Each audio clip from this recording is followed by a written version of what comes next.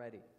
So today, Hannah and I, I say Hannah and I, she obviously had to take little Josiah out to eat or whatever it was, but we're happy to have some family visiting with us today from Wisconsin in the fourth, fifth row back. Can you just give a little wave, everybody? My, my, shy, uh, my shy family there is uh, giving a wave. Very good. So my mom and my sister, my nephew's downstairs for kids' church, but my Aunt Christy and my cousins Caitlin and Emily are here.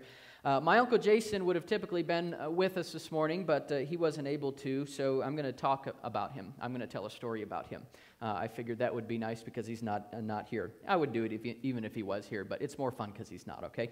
So we were on vacation with my family to a place called Lac du Flambeau years ago. That probably doesn't sound familiar to you because it's in Wisconsin and not in Ohio. It's around the area of Wisconsin Dells. Show of hands who's been to Wisconsin Dells, the water park capital of the world. Awesome. Very good. So really, really cool place. But we had the opportunity to rent a pontoon boat for the duration of our vacation. And so we did and we could you know, go fishing with it or take it out for some boat rides or whatever. Well, one morning, my Uncle Jason, he took us out, me and my cousins out fishing. And I remember it was a cold morning. It was a cold morning. It was very dark outside. We got up at probably 4:30, 5 o'clock to go. It was dark outside, very, very windy, and it was also raining and just awful. Just everything uncomfortable that you can imagine, it happened that morning. It was so uncomfortable. Well, we went out fishing anyway because we're Wisconsinites and we didn't want to let cold weather hold us down. So we get ready on the pontoon, we get it ready, we get out in the middle of this lake, and our pontoon started to rock, and I was really starting to get concerned. Now, do I trust my Uncle Jason? Of course I do. No doubt about it. But you know what I don't trust? The wind and the waves. How many of you are with me? Okay? I, and I really didn't trust our pontoon. Now, the water began to push us around more and more, and the pontoon started to move around quite a bit, uh, more than I was comfortable with. And eventually, we decided to head back in, right? It, it was just getting bad. We weren't catching any fish because we were trying to stay afloat. It was getting so bad, we were running from one end of the pontoon to the other as the boat rocked. Now, you say, come on, Pastor Dustin, that's ridiculous. It's a pontoon. You're fine. That thing's not going to sink. You know, it, it's, it's the, one of the safest watercrafts that you can have out on the water. And you can go ahead and think that until you hear what happened next, okay? Because the story gets worse from here.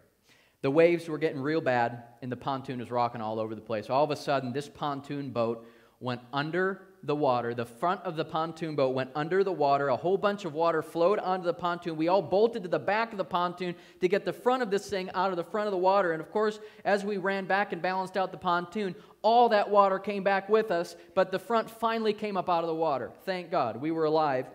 But we almost sank a pontoon on a lake. I remember thinking I was going to die. I remember thinking I'm not going to make it. We're not going to get back home. I you see, you know, in that time, it's like I had nowhere to go but to stay on the pontoon. It was like the, the, every route possible is bad. You know, if you ever been in a spot like that, every route that you could go was bad. Now, I did. I did have a story to share uh, when I got back. At least we had that. But my family members to this day that did not come along for that early morning trip still discount the intensity of that story uh, because they weren't along and I will forever tell the story about how bad it truly was because I was there. But today we continue our series called Same God. And a few weeks ago, we talked about the stories of Jacob and Moses. Um, did I mention that we got back safely to shore? I don't. Did I mention that part? We did. We're, we were fine. We still are. We're, we're okay. Okay. But we, we started this series a few weeks back. We talked about the story of Jacob and Moses to kick it off. Jacob was promised that many generations of people would come from him, but his wife was infertile.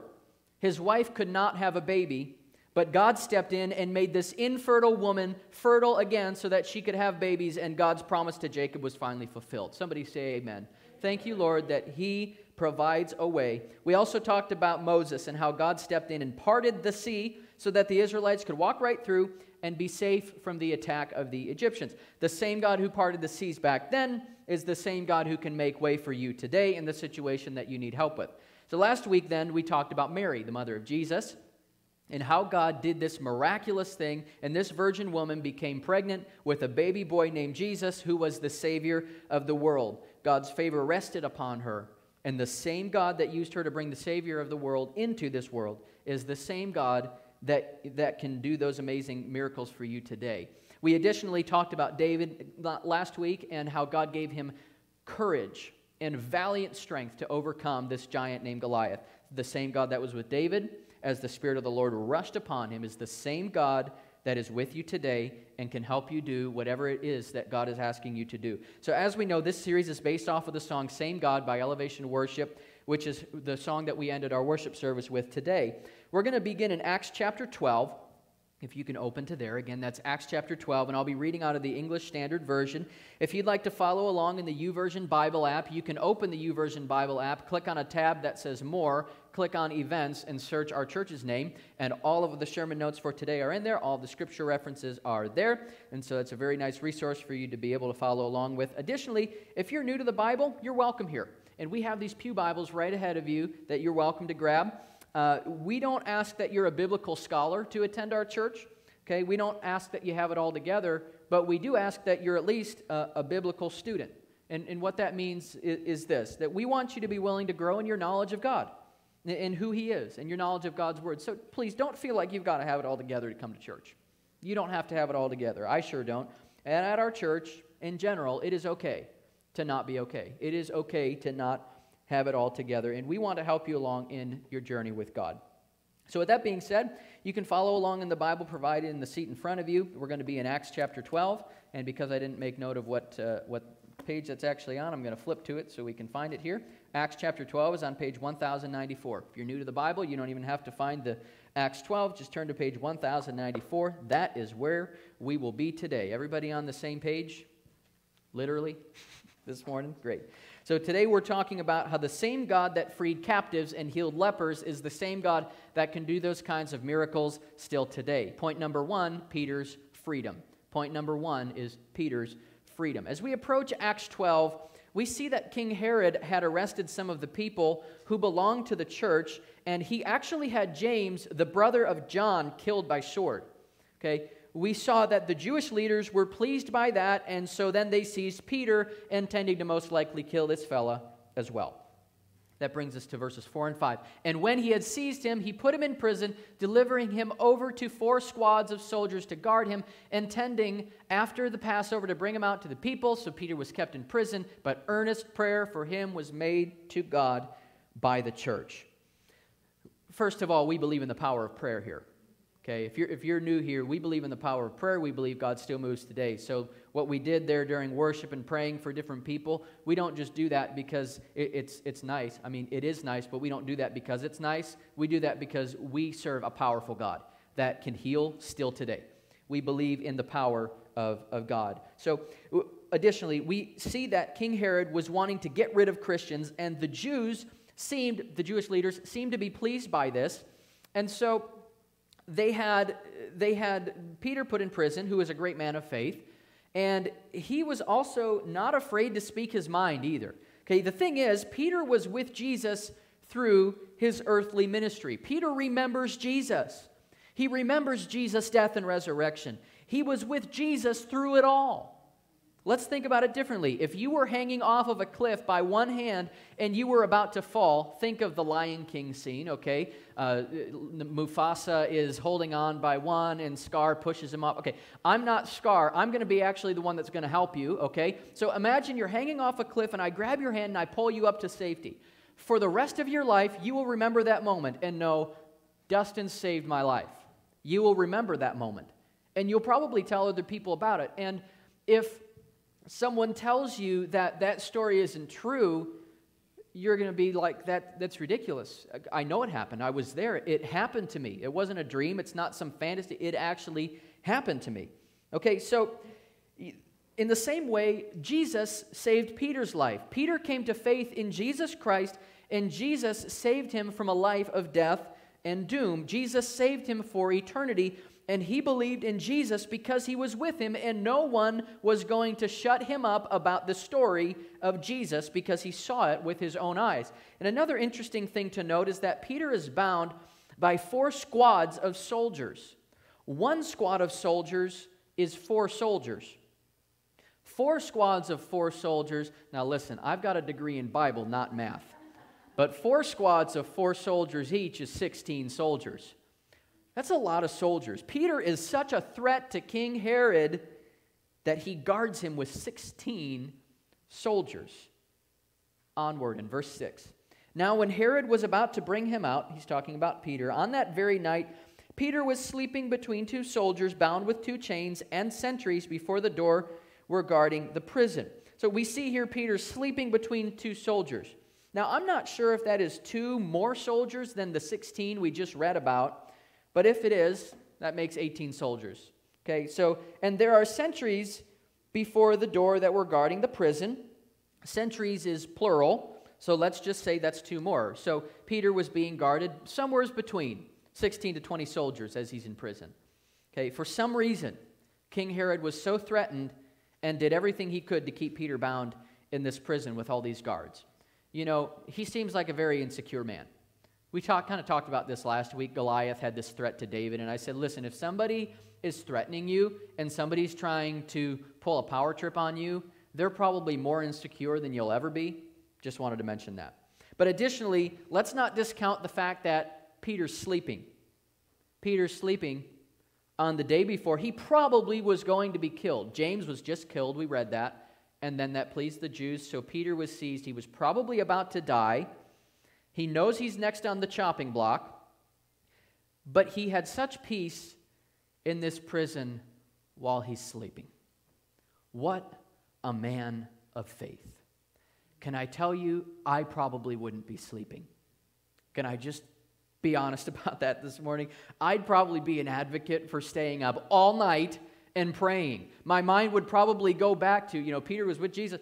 Uh, my mind would probably go back to, man, I remember back in the garden when Jesus was about to be killed and he was up all night praying. Well, what does Peter do? He's sleeping, okay? That's actually similar to the story of when Jesus was praying because Peter was sleeping too when Jesus was praying when he was about to be killed. So at least at least he's consistent, okay? So he probably knows that right that James has died for his faith already. He knows he's next on the chopping block, but but he's sleeping. And, and again, we remember that Peter was with Jesus, and, and Peter's story about Jesus was, was true. Nothing was going to shake him of the truth about Jesus Christ, and I believe he was given some supernatural peace in this moment. Let's just err on the side that he was not being lazy. Let's err on the side that he was given supernatural peace. And that's good. So, verses 7 through 8 says, And behold, an angel of the Lord stood next to him and a light shone in the cell. He struck Peter on the side and woke him, saying, Get up quickly. And the chains fell off his hands. And the angel said to him, Dress yourself and put on your sandals. And he did so. And he said to him, Wrap your cloak around you and follow me.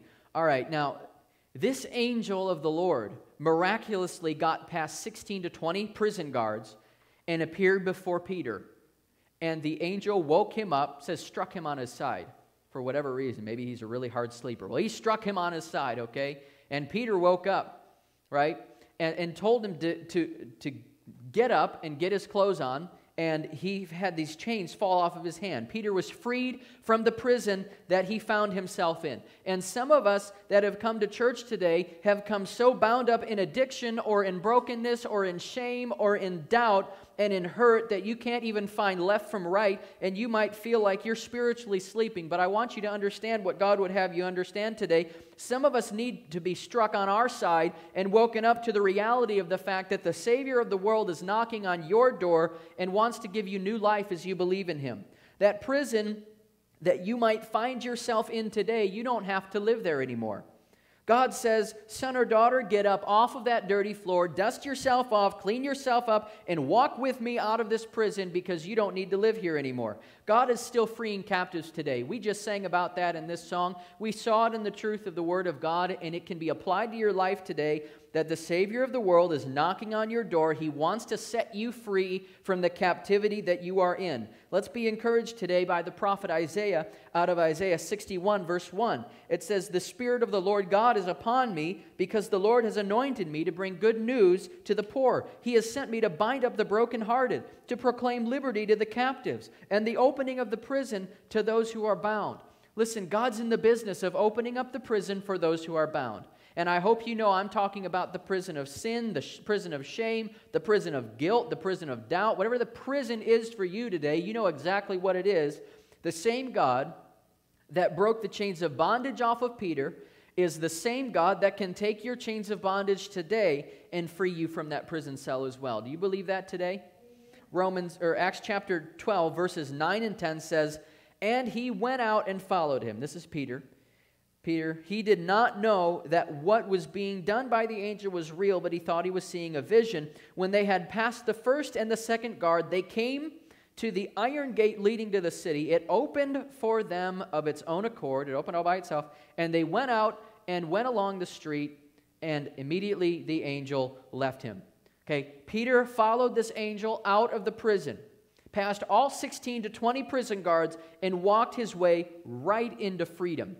Right into freedom. Many more miracles that I want to note today. Number one, an angel of the Lord appeared in the cell. That's miraculous. Number two, a light shone in the cell.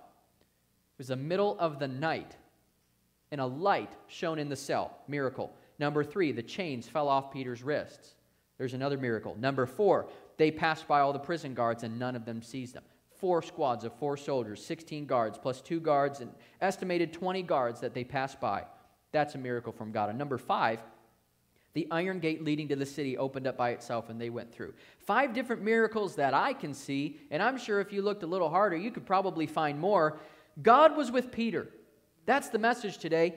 God was with Peter, and although his situation seemed impossible, he trusted in the Lord. He trusted in the Lord, even enough to catch a little cat nap before an angel nudged him on his side to wake him up. He trusted in the Lord, and God did many miracles in his life. The freedom that Peter was able to experience. I want to also talk about the lepers that were healed. Point number two the leper healed. Now, uh, God, is, God sets captives free. Okay, God sets captives free, and I want you to know He can do that for you today. But the other focus I want to take from this song about same God is this idea of healing. Healing, okay? Look into Matthew chapter 8.